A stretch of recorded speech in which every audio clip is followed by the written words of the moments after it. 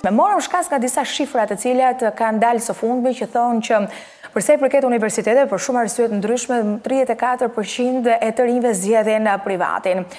Sigurisht që kjo është një çështje zgjedhjeje, ky është një treg i hapur, por marrim shkas nga ajo se çfarë kemi trajtuar më herët, duket se është kthyer në normalitet që jo vetëm në universitete, por edhe fëmijët që në klasë të parë shqiptarët t'i çojnë në shkollat private. Arsye që janë bërë publike, që kanë të bëjnë me orarin e kufizuar, me pamundësinë, çështje sigurie, se janë bërë dhe studime nga më të ndryshmet dhe problematika që kanë në këto shkolla si pasojë e rekrutimit për lëndë narkotike, drogat, edhe pse ka patur herë pas here, tryeza, aksione, por si element dhe kjo qëndron.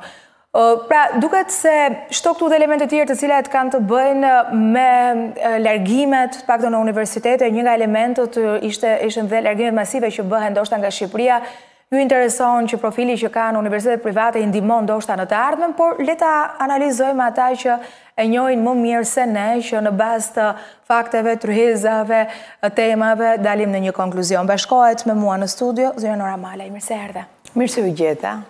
Ta nisim kështu këtë bisedë. 34 për qind zgjedhin privatin në universitete. Lajm i mirë apo lajm i keq? Lajm i mirë, për arsye se universiteti publik dhe jo publik, është universitet që ka në interes formimin dhe zhvillimin e të rinjve, që do të thotë tashmë nuk kemi më institucionet arsimore, si ato parauniversitare dhe universitare, Të ndara në drejtim të standardit dhe cilësisë, do të thotë që tregu i dijes është një treg i hapur, në aspektin e asaj që quhet shteti i së drejtës dhe gara për cilësi dhe për standard, kjo tregon që universitetet jo publike kanë fituar të bëjnë kanë fituar besueshmërinë dhe kanë filluar të bëhen pjesë reale e garës së studimeve universitare, pasi ka disa arsye pse vjen ky trend. Nëse do t'i referoheshim shifrat që ju keni paraqitur dhe të gjithë strukturës, shikojmë që mm, në Shqipëri tendenca për ta parë arsimin si një e mirë publike, ku përtej arsimit shtetëror është dhe arsimi jo publik, tregon që njerëzit kanë ndjeshmëri shumë të lartë në drejtim të asaj që quhet Nevoja e cilësisë dhe mënyra se si institucioni i arsimit të lartë bën atë që quhet marketimin agresiv për të nxjerrë pikat e forta të të gjithë programeve dhe studimeve dhe në fund të ditës të gjitha këto shikohen me çfarë përfitojnë mbasi studentët marrin studimet e tyra dhe se si ato përkthehen ke tregu i punës. Ju e keni dëgjuar atë termin alumni që do të thotë të gjithë studentët që Mbarojnë studimet universitare, kthehen në alumn të universiteteve që bëhen në një farë mënyre avokat të tyre në drejtim të kohës mbasi mbarojnë universitetin dhe futen në sistemin e punësimit.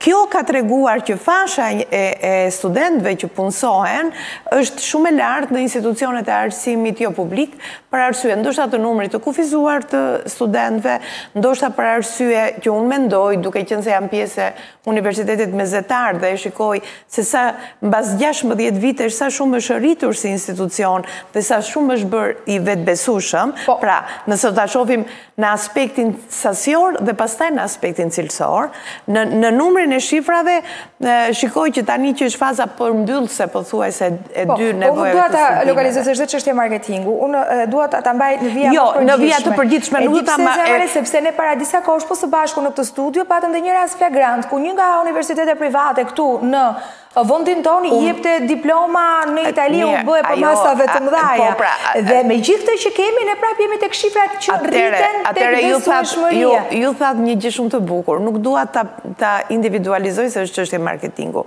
E solla vetëm si rast, por nuk dua as unë ta individualizoj, se jam shumë e kujdesshme në këtë qasje për të respektuar të drejtën e e çdo medie. Pra, çështja marketim, pikërisht këtu fillon thembra e suksesit apo thembra e Akilit.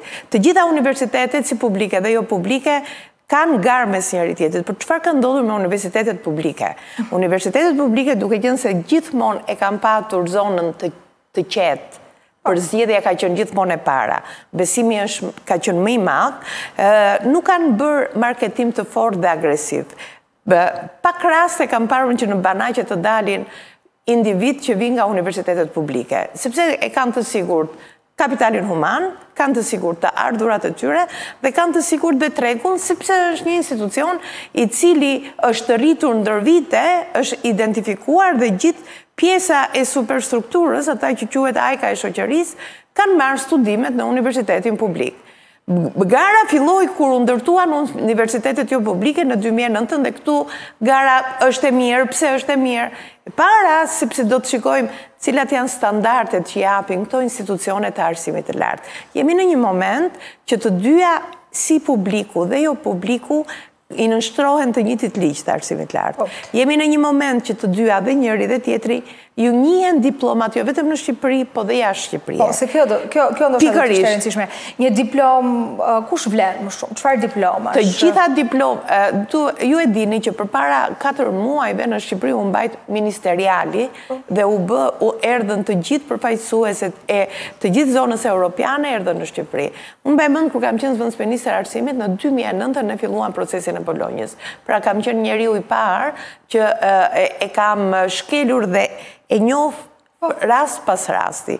Çfarë ka në thelb procesi i Bolonjës? Së pari, njeh zonën europiane dhe ne jemi të gjitha diplomat shqiptare janë diploma të zonës europiane, që në një formë apo në një tjetër të gjitha njihen në sistemin e punësimit, jo vetëm brenda Shqipërisë, por edhe jashtë Shqipërisë. Janë disa detyrime që quhen detyrime ligjore që lidhen me standardin dhe cilësinë e universiteteve, që do të thotë, si universiteti publik dhe ai jo publik bëjnë të njëjtën garë. Madje mund të them që nëse ju e mbani mend në akreditimin e universiteteve, patëm një antikap ose antipod, universitetet publike nuk ishin akredituar, ndërkohë që universitetet jo publike ishin të akredituar. Po. Ndërkohë që duhet themi që sigurisht lufta kundra korrupsionit është një luftë e tillë që na tregojnë disa institucione të arsimit të lartë që mund të kenë edhe abuzivitet siç ishte rasti që ju përmendët, apo raste të tjera, apo raste që neve i shohim ke emisionet investiguese,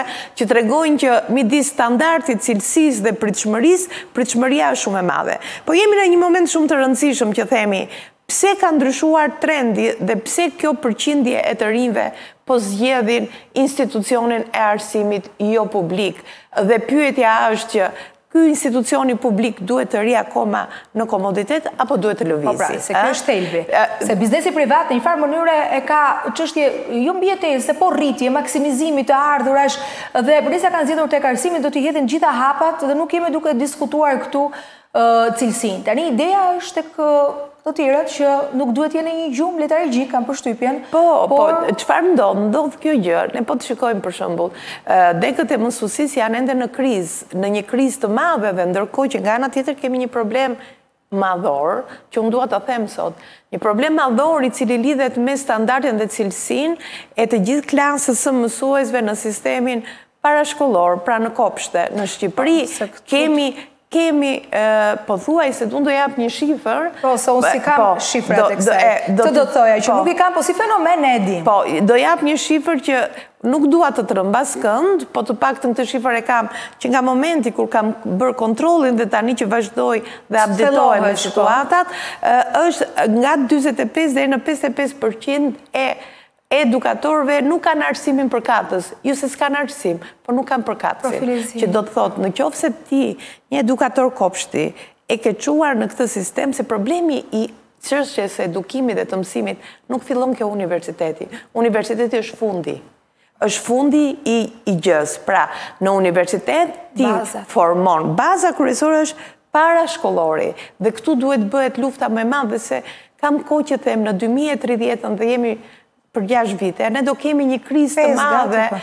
të problemit të mësuesve dhe të prezencës së tyre edhe nëse i rrisim rrogat edhe nëse s'i rrisim rrogat, duhet të fillojë një politikë më agresive në pozitivitetin për të kërkuar dhe për të ngritur atë që quhet statusi i mësuesit dhe qasja ndryshe e pedagogut. Pra, kemi të bëjmë me gjithë ciklin spiral të edukimit, që fillon që nga zero deri në tërë jetën. Pra, kemi dy standarde.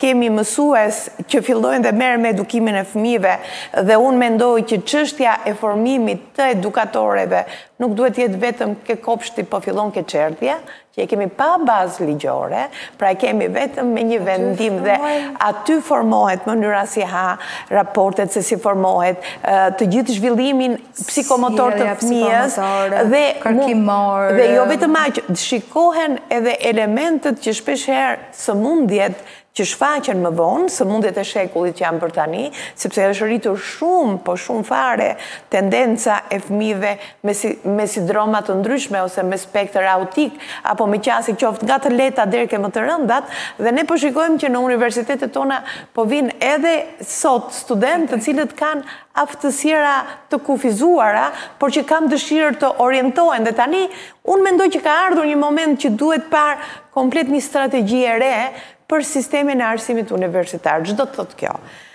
Banka Botërore, përpara në kohën e pandemisë, nxori një raport dhe në raportin thotë që të gjitha vendet të cilat kanë tranzicion siç është Shqipria, apo vendet e pazhvilluara, apo që kanë një GDP shumë të ulët, do të kenë një problematikë më pas, mbas pandemisë, me të gjithë studentët dhe kapitalin human që del nga shkolla, pra do jenë Pesë, gjashtë vjet më mbrapa se jo. bashkëmoshatarët e tyre. Po, jo. kjo na çon, jo se ne kemi aftës, jemi handikap, fare, jo, po kjo na çon për arsye se jemi ende ke sistemi i brishtë ku ne nuk kemi GDP-të për arsimin. Jemi ende ke sistemi i brishtë ku nuk po dimë se si të orientojmë drejt disa profesioneve që quhen profesione misionare. Dhe kush është profesioni misionar? Profesioni misionar është mësuesia, Profesioni misionar është drejtësia, sepse një jurist dhe një individ që do zhvillojë formimin e tij akademik në fushën e drejtësisë, duhet të jetë tamam me duar të pastra dhe me zemër të ngrohtë dhe me mendje të ftohtë për të bërë gjykimin. Profesion shumë i rëndësishëm është mjekësia që është misionar dhe që sot ke tregu i punës ka kërkim të jashtëzakonshëm dhe profesioni shumë jo, i rëndësishëm. Ka kërkesë, po, na ikin, na i merr Gjermania. Po, po, profesion shumë i rëndësishëm është infermieria, sepse me rritjen me inteligjencën artificiale, çfarë do ndodhi? Do ndodhi që një mjek mund ta diagnostikojë nga India në Shqipëri një pacient, pa e prekur fare, Po për t'i bërë gjilpërë nuk ia bën dot që andej. Duhet të jetë patjetër një infermier apo duhet të jetë një sallë operatori që ta realizojë këtë gjë. Pra, e parë në këtë qasje ju me të vërtetë ngrini këto shifra dhe thoni çfarë po ndodh. Unë mendoj që jemi ende herët për të nxjerrë konkluzionin përfundimtar se deri në fund të muajit tetor kemi mbylljet e cikleve të plota të formimit të tyre, por mendoj që ky trend duhet ta bëjë Ministrinë e Arsimit dhe politikën e shtetit shumë të ndjeshme për të kuptuar që si do operohet në vijimësi. Kam dhe një pyetje të fundit që është shumë e rëndësishme. Ne po e trajtojmë herë pas herë këtë në universitetet, e po. E rëndësishme është edhe ajo që ne po zgjedhim, familjet shqiptare nuk po zgjedhin që t'i çojnë pra në shkolla publike, por në privat fëmijët, që në parashkollor dhe unë e përmenda në hyrje që janë disa elementë, kështu një element është çështja e sigurisë, Edhe kur e besojnë pra cilësinë e mësimdhënies, kanë merakun pasi sa të ekspozuar janë me fenomene të drogës, rekrutimi e të tjera e tjerë. Këtë nuk e them, pra duke e menduar, por është analizuar dhe ka pas dhe raporte për këtë, që çështja e sigurisë pas ka qenë problem ndër vite. Nga ana tjetër, Edhe kjo puna e orarit që nëse në publik mbaron në orën njëmbëdhjetë e tridhjetë, një familje do duhet të angazhojë një person të marrë fëmijën, ta çojë pastaj në ato after school-et që kanë lulëzuar dhe që besoj edhe aty duhet të ketë një analizë, kontroll, çfarë ofrohet, kush, si licensohen e të tjerë dhe këtë e them nga komunikimet që kemi patur me njohës dhe ekspertë të mirë të arsimit, por nuk kam shifra, ama le të them që nëse këtu pak të ndal që 34% paskan prioritet Privatin tek fëmijët, tek parashkollori, tek cikli i ulët, nuk di të them se sa mund të jetë përqindja, ndoshta duhet të jenë autoritetet që mund edhe ta nxjerrin. Po a është fenomen? Dhe me çfarë shoqërohet? Vendet në tranzicion si puna jonë kanë problematika shumë të mdhaja dhe ne kemi diskutuar këtu së bashku edhe kur kemi bërë analizën e arsimit me ekspertë të ndryshëm, por edhe kur kemi bërë analizat e fenomeneve sociale kemi thënë që Shqipëria është Ne jetojmë në depresion social, pra si popullatë jemi popullatë e depresuar, duke qenë se jemi popullatë e depresuar kemi problem me prindërimin, kemi problem me gjyshërimin, kemi problem me raportet dhe me komunikimin, kemi një dhunë e cila vjen dhe bëhet shumë prezente dhe bëhet jo vetëm në shkollat publike, po bëhet edhe në shkollat jo publike.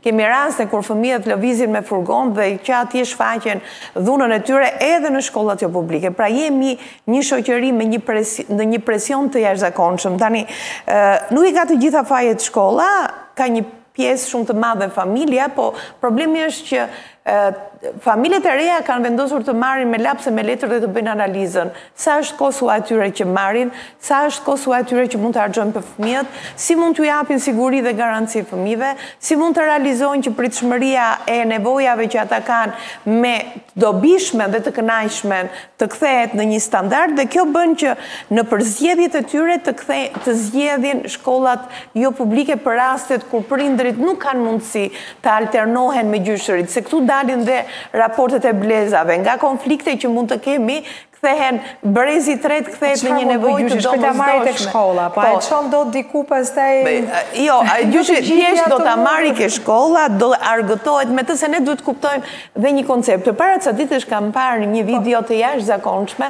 dhe në fakt, para se të vija doja ta ndaja me ju, po nuk kam arritur, po ndoshta ajo do bëhet pjesë e emisionit. Dhe tregonte dy modele shkollash, një model të shkollave europiane, ku i lënë në kopshte fëmijët, që të flenë, të bëjnë, dhe një model në Kinë, dhe çfarë bënin në Kinë, ata i fusnin të punonin me brumë, të bënin...